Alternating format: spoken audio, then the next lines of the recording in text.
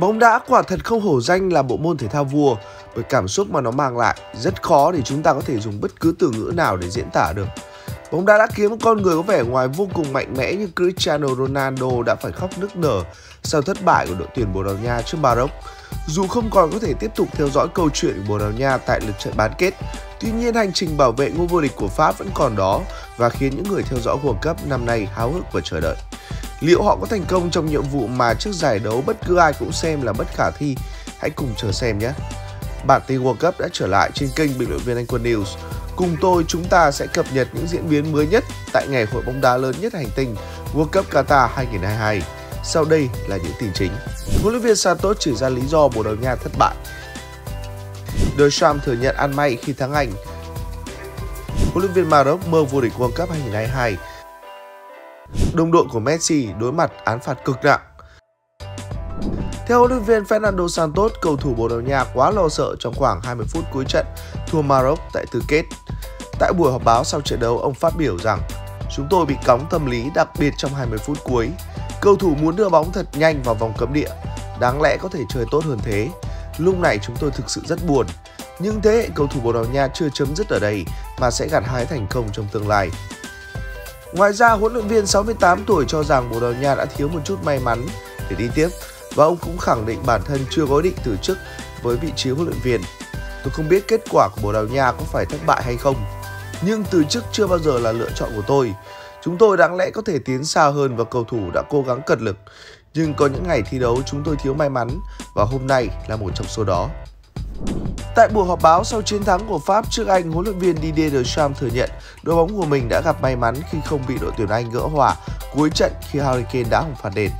Thật tuyệt vời khi các thủ Pháp lại lọt vào vòng đấu dành cho bốn đội xuất sắc nhất World Cup. Chúng tôi đã gặp một chút may mắn, dù đối thủ được hưởng hai quả phạt đền. Nhưng chúng tôi đã giữ vững vị thế dẫn bàn bằng cả trái tim và lòng dũng cảm của mình.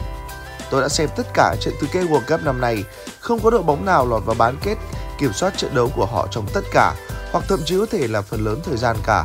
Tôi sẽ thích hơn nếu chúng tôi không tặng đội tuyển Anh một số món quà, nhưng chúng tôi đã thể hiện đẳng cấp thực sự cao.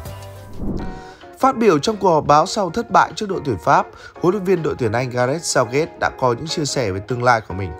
Sau mỗi giải đấu chúng tôi đều ngồi lại và xem xét mọi thứ, vì vậy chúng tôi cần một chút thời gian để đảm bảo tất cả đều đưa ra những quyết định đúng đắn. Khi được hỏi về trận đấu, Gareth Southgate đã nói rằng Tôi nghĩ rằng đội tuyển Anh xứng đáng có được một màn thể hiện tốt hơn, nhưng cuối cùng kết quả thắng thua lại được định đoạt bởi những bàn thắng. Tôi đã nói với cầu thủ là các bạn đã nỗ lực hết mình rồi, Tôi tự hào về cách họ đã thể hiện ở giải đấu lần này. Đó là những khoảnh khắc quan trọng. Trong hầu hết những khoảnh khắc quan trọng, chúng tôi đã ở đúng vị trí của mình. Chúng tôi ở đây để cố gắng vô địch World Cup. Chúng tôi tin rằng mình có thể làm được. Đội hình của đội tuyển Anh hoàn toàn có thể làm được điều đó.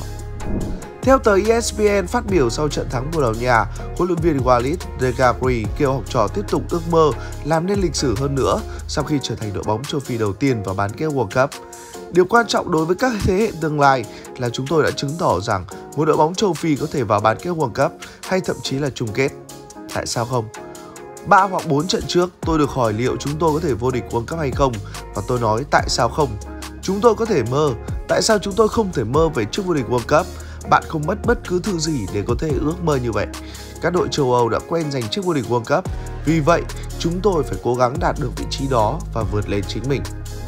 Theo tờ Independent, sau trận thua sát nút Maroc tại tứ kết, trung vệ Bồ Đào Nha Pepe đã không giữ được bình tĩnh và lên tiếng tố cáo FIFA sau trận đấu. Việc một trọng tài người Argentina bắt chính trận đấu của chúng tôi là không thể chấp nhận được. Sau những gì Messi và Argentina phàn nàn ngày hôm qua, trọng tài nước họ có mặt ở đây để điều khiển trận đấu này. Chúng tôi có tố chất để vô địch World Cup năm nay, nhưng chúng tôi đã không làm được. Với những gì đã xảy ra trên sân hôm nay, tôi có thể đặt cược tất cả những gì tôi có rằng Argentina sẽ vô địch. Có 5 trọng tài người Argentina điều khiển trận đấu của chúng tôi. Tôi còn có thể nói gì hơn nữa. Hãy xem điều gì sẽ xảy ra. Theo tờ Mirror, Liên đoàn bóng đá thế giới xác nhận sẽ mở cuộc điều tra đội tuyển Argentina sau chiến thắng trước Hà Lan tại trận tứ kết đêm qua.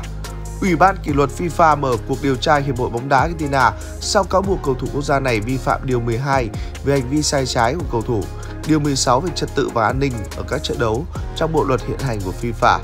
Ngoài ra, Ủy ban kỷ luật FIFA còn mở cuộc điều tra nhắm vào Liên đoàn bóng đá Hà Lan do nghi ngờ cầu thủ nước này vi phạm điều 12 bộ luật của FIFA cũng trong trận đấu trên sân Lusain.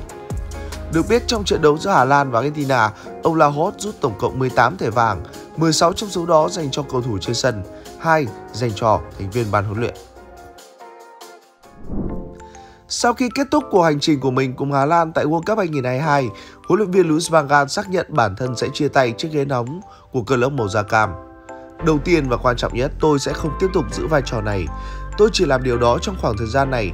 Đây là trận đấu cuối cùng trong nhiệm kỳ thứ ba của tôi với tư cách là huấn luyện viên trưởng. Trong thời gian đó, tôi đã dẫn dắt đội tuyển 20 trận, thắng 14 hòa 6 và chúng tôi không thua trận nào. Tôi không biết chúng tôi đã thắng bao nhiêu trận, nhưng bạn có thể Google Luis Van hoặc đội tuyển Hà Lan và tự mình xem về điều đó. Được biết, Van Gaal là huấn luyện viên thứ 7 chia tay đội tuyển quốc gia sau thất bại ở World Cup 2022. Trước đó, Gerardo Martino của Mexico, Otto Addo của Ghana, Roberto Martinez của Bỉ, Paulo Bento của Hàn Quốc, Luis Enrique của Tây Ban Nha và Tite của Brazil cũng xác nhận rời đội tuyển sau giải đấu. Sau World Cup 2022, nhiều khả năng Van Gaal cũng dã từ sự nghiệp huấn luyện viên. Hiện ông đã 71 tuổi và phải trải qua đợt điều trị ung thư tuyến tiền liệt trước khi World Cup 2022 khởi tranh. Đội trưởng đội tuyển Anh Harry Kane chính là người đã thực hiện thành công một quả phạt đền để gỡ hòa cho Tam Sư sau pha lập công trong hiệp 1 của Ariel Termini phía Pháp. Ít phút sau, cú đánh đầu thành bàn của Olivier Giroud giúp Pháp tái lập thế dẫn trước một lần nữa trước Pháp thì Harry Kane tiếp tục có cơ hội thứ hai để gỡ hòa trên chấm 11 mét. Tuy nhiên, trong tình huống đá phạt thứ hai, Kane lại không thể sút trúng mục tiêu, khiến quả phạt đền đi vọt sáng ngang. Gián tiếp khiến anh ngậm ngùi rời giải với thất bại 1-2. Phát biểu sau trận, Kane cho hay, tôi luôn là người chuẩn bị cho trường hợp được hưởng một quả phạt đền trong một trận đấu, hoặc thậm chí hai quả phạt đền. Tôi luôn có một ý tưởng về những gì tôi muốn làm. Tôi không thể chê trách sự chuẩn bị của mình hay bất cứ điều gì tương tự, hay các chi tiết. Quả đầu tiên rất tuyệt, còn quả thứ hai thì tôi không hoàn toàn đạt được nó như ý muốn, thật đau đớn. Là đội trưởng tôi chấp nhận điều đó, nhưng tôi không thể tự hào hơn về các chàng trai. 4 năm mới có một kỳ World Cup, mọi người liên quan sẽ bị tổn thương, nhưng đó là bóng đá, đó là thể thao. Theo tờ Goal, dù nhận thất bại cay đắng trước Maroc, Ronaldo đã tiếp tục thiết lập nên một kỷ lục mới cho bản thân tại World Cup năm này. Theo đó, với việc được tung vào sân từ băng ghế dự bị ở trận gặp Maroc, CR7 đã có 196 trận khoác áo đội tuyển quốc gia Bồ Đào Nha. Con số này sánh ngang với tiền đạo Coet, Bade, Amutawa và trở thành một trong hai cầu thủ có số lần khoác áo đội tuyển quốc gia nhiều nhất lịch sử bóng đá thế giới. Trong 196 trận khoác áo Seleção châu Âu, chân sút này đã ghi tới 118 bàn thắng, bỏ xa so với Bader Amutawa khi cầu thủ này mới chỉ có 56 trò đội tuyển của West.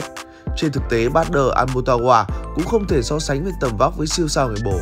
Mặc dù vậy, nhiều khả năng sau thất bại này trước Maroc, Ronaldo sẽ không gắn bó với đội tuyển quốc gia Bồ Đào Nha nữa. Vị trí hiện tại của CR7 tại Bồ Đào Nha đã không còn được đảm bảo. Bên cạnh đó, phong độ của cầu thủ 37 tuổi này cũng đã giảm sút quá nhiều so với trước đây. Thủ môn của Argentina Emiliano Martinez có thể bị cấm thi đấu trận bán kết World Cup vì lời lẽ thô tục với trọng tài người Tây Ban Nha Antonio Mateo Lahoz. Thủ thành đang khoác áo Aston Villa đã mất bình tĩnh và thẳng thừng lên tiếng chê trách vị vua áo đen. Trọng tài làm thay đổi cán cân trận đấu, ông ta muốn Hà Lan gỡ hòa. Không chỉ qua việc cho trận đấu bù giờ 10 phút mà còn ở những tình huống khác, những tình huống nhảm nhí. Tôi không hiểu vì sao ông ta lại thổi phạt ở tình huống cuối trận. Ông ta là trọng tài dở nhất giải đấu vì Tây Ban Nha đã bị loại, thế nên ông ta cũng muốn chúng tôi bị loại theo.